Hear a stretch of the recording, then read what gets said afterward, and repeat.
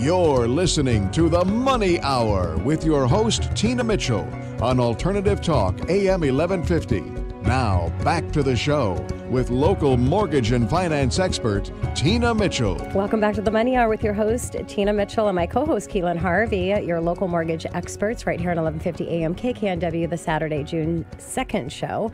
It's a great day to talk money, and that's what the show is all about how to make money, save money, and have a better quality of life for you and your family. If you're hearing our show at a different time or day, you are listening to a rebroadcast, but you can call for any questions or connect with the guests that we have on the show today. Please call the show at 1 855 400 1150 or online at themoneyhour.com. Again, that's 1 855 400 1150 or online at themoneyhour.com. And in studio right now, first time in studio, Erin Alexander with Finally Social and Stop Marketing to Yourself is the conversation we're having with Erin. Erin, thank you so much for joining us in studio today. Thank you so much for having me, Tina. And a little bit about Erin. Erin Alexander is the founder and CEO and top social butterfly of FinallySocial.com. Over the last three years, Erin has grown Finally Social from a boutique social media company to a full service marketing enterprise. Erin has built strong relationships with clients across the industries with a specific case, specification in real estate agents. As an active member in her community, Erin enjoys connecting with other business owners, thought leaders, and referral partners partners. She is also involved with the local nonprofits. Erin, right out of the gate, uh, it's important to see how you look in your future client's eyes, isn't it?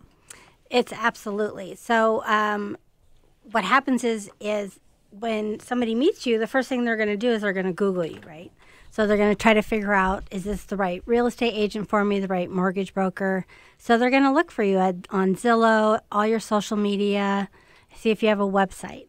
Um, and so a lot of people don't necessarily have any of that. So I would imagine it would probably be really important on uh, at least the first time and on a, maybe on a regular basis to Google yourself and kind of check out what's online there. It is, and it's really important to know um, what's going to be the most important. Uh, right now, Zillow, people are looking at Zillow, looking at how many past sales people have had, um, if you've had any testimonies, if you have your bio on there. I just recently had an agent that she did not have a testimony on there since night or 2015. And so she lost a $2 million listing. Wow. Because she was like, I'm sorry, but you don't look like you're active. So. Wow, that's rough. So, how should you be marketing yourself? Is that important? Um, it's very important. So what happens is, is most people market to themselves, right? So if you are just going on Facebook, then that's all you're doing for marketing. Um, but that's not what your audience is doing. You know, some of your audience may only do email, they may only do Instagram, they may only do LinkedIn, they may only, you know, there's a, like a top five that I do. Um, and so you have to make sure that you're blanketing and reaching out to your audience on, you know, all certain different types of social media. Yeah, that makes total sense to be covered on all the social media platforms. Now, mm-hmm. let's talk about uh, the importance of who you're marketing to. Is that important to really have that target? Yeah. Well, you need to make sure that you're, um, first of all, talk, uh, targeting your past clients. I find that a lot of agents don't actually market to their past clients, mm-hmm. which I don't understand why. But um, and then you also want to make sure that you're you create an audience and figure out where what type of audience that you want, right? And then from there is where you can create um, different audiences t- on Facebook, for instance, to be able to run Facebook ads boost to them and things like that. So you're talking about multiple streams of marketing. Uh, one of the things we hear a lot is Instagram. How powerful is Instagram? Instagram is very powerful, but it is only pictures. Um, and so there's going to be people that only use Instagram, but then there's also people that only use Facebook.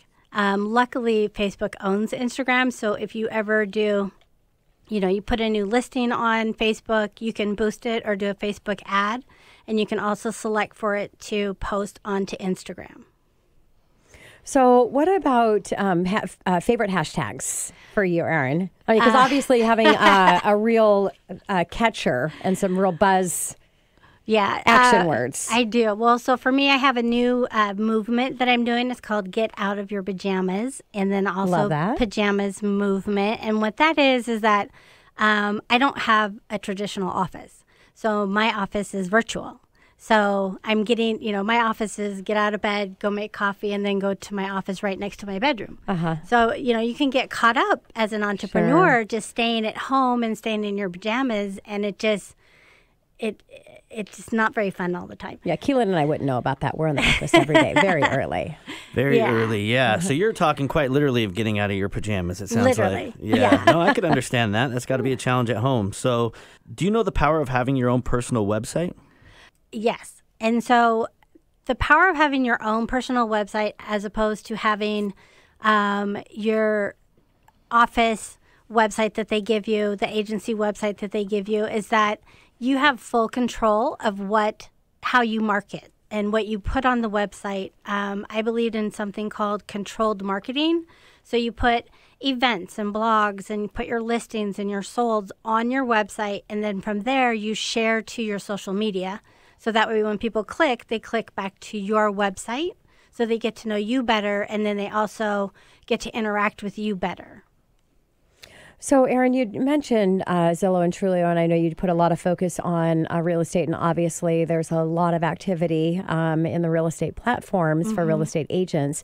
So, how are you seeing that some of your real estate agent clients are losing business through Zillow and Trulia, or things that they're they're not doing correct? Well, one I think one of the most important things is when you have a sale is that you ask to get a testimony. Um, and so for Zillow, that's a, a big part of it. Um, I would say that you should always get a testimony on Zillow and on Facebook because, again, people like to read about who you are and what you're about. Um, and then always make sure that you have your past sales listed. They want to see what your track history is and make sure that your bio is current and relevant and that it's a, you know shows a little bit of your personal side as well because again they're using that as your resume and so you want to make sure that it's completely dialed in And I think that's uh, uh, so important with a bio. I think people ask that question a lot. You know, um, should I be really putting in my bio anything that has to do with personal? But when you can connect your why behind what you're doing, and Right. for most of us, our why behind is our passion, which is connected to us personally. So I, I love that, Erin. You know, I have to ask because Tina's really good about this. Uh, she does her Facebook live videos all the time. Uh, what is the power in the Facebook live videos? How does that help? Um, that is it's real time. So people get to know who you are. They get to watch you. They get to see you. Uh, facebook right now is really putting an emphasis on all video but facebook live uh, in particular. Um, so you're just going to get better seo better traction. More people are going to see you Yeah, and Keelan, thank you for that shout out. I didn't pay him for that, but my Facebook Live, just so anybody's looking for it, actually is a private group. So I've got a, a coaching program I do for real estate professionals and business professionals, and so once you're part of that alumni, then it's it's a, a Wednesday Facebook Live uh, challenge that I do. Nice. Um, so you can't find it, but in um, a, a, a lot of people there's a there's a pushback for videos, and what do you see is the biggest pushback for doing video? Um, I think they just don't understand what they need Okay. to do. Uh, if somebody, so what I do for my agents is I simplify it. You know, it can just be answer a question a week or a question a month on what um, you get asked all the time. You know, if you're do condos, uh, what are, what are CC&Rs? What are HOA dues? Um, just really simplifying and having just a clear vision of what you're going to say on those videos helps you immensely.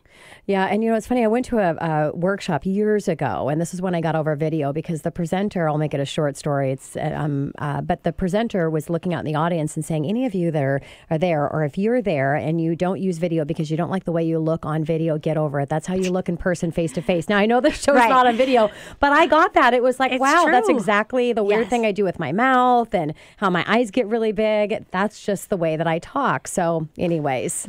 Well, and people are used to that. So if they see you on video, it's no different. But when I saw myself in Right. video, I didn't really think I looked like that. But you know, I don't either. I'm like, wait, that's not me.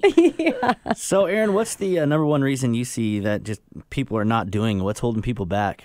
Um, I think it's because they don't understand it and they don't. Um, again, they market to themselves, so they don't see the value in marketing across the board. Um, and honestly, I think it's because people just don't. They don't understand why, and nobody has simplified it for them as to why. Yeah, and it's you know so important. Um, everything is going towards that video, and you talked about virtual. There's a lot of people are doing things virtually Mm-hmm. um, from their office. You know, our coaching program that we do is virtual. We use Zoom, and so Yep. really being able to connect and create that space is so important in advancing, no matter you know what industry that you're uh, you're in.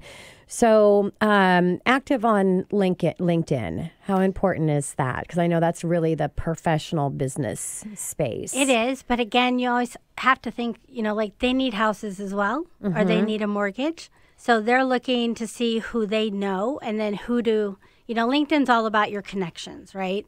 Who can I connect you with?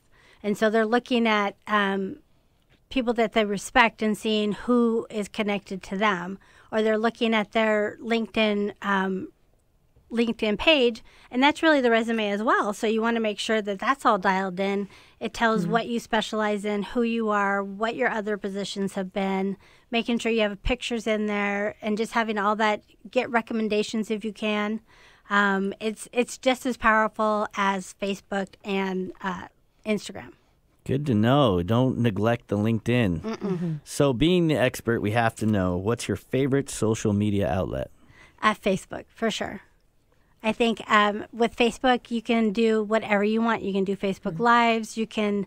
You have to have a business page if you are a business. Um, do not have your business information on your personal page just because uh, Facebook is really into making sure that everything is separate. Um, I've known a couple people that have used their personal page only for their business and a little bit for them, and Facebook has actually shut them down. So make sure you have a business page, and with that business page, you can create audiences. You can boost your uh, listings and your solds and articles if you want, or your blog, and you can create an audience so it goes out just to them.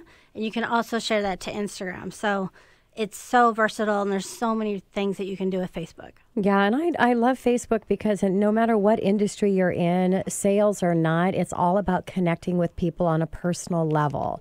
And Right. Facebook is set up to connect with people on a personal level. And a little uh, shout out tip with Facebook because it took me years before I realized it, and it's a huge benefit um, when you have a lot of people, friends, because you're just you're accepting everybody because Right. you are afraid not to, especially when you're in a sales industry. You don't want to say Yeah. no to somebody, right?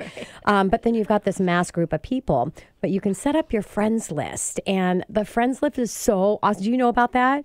So share the the the benefit with um, uh, friends list. Well, what happens is, is you have so many people on your Facebook. I I don't even know how many I have, but you all your friends get lost, right? Uh, yes. So there's you can create a list so that way your friends show up on top of everybody else every time you log in. So obviously don't put like a hundred friends in there because then again it's going to get all convoluted. But Yeah. if there's like your mom or your family or your best friends or your cousins or whatever, you put them on that list so you're never missing what they're posting. Yeah, and I I like it for my you know my top business partners that I'm I'm friends with or ones that I'm trying to really connect on that level. I Right. I built there and and so I go in there and all their stuff is there, so I don't have to look for them to Right. find out what they're doing, so I can comment on their stuff. And then Facebook's algorithms are freaking awesome because what it does is if you comment on somebody automatically it considers that you're a friend of theirs so now all of your stuff goes to the top of their feed and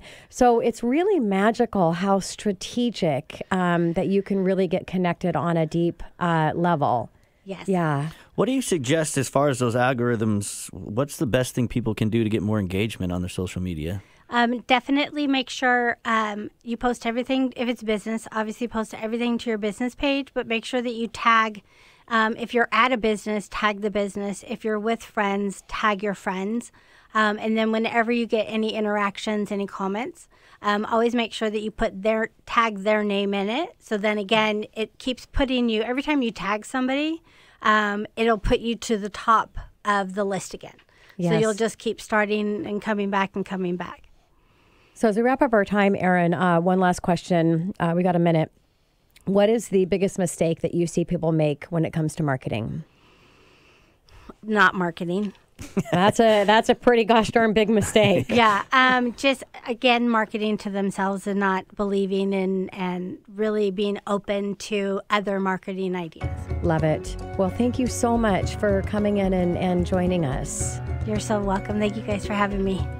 And coming up next in the Money Hour, does it really matter who you work with when it comes to this market? We're talking about real estate, and I have Sherry Putsky with Windermere Real Estate right here on 1150 AM KKNW after this short break.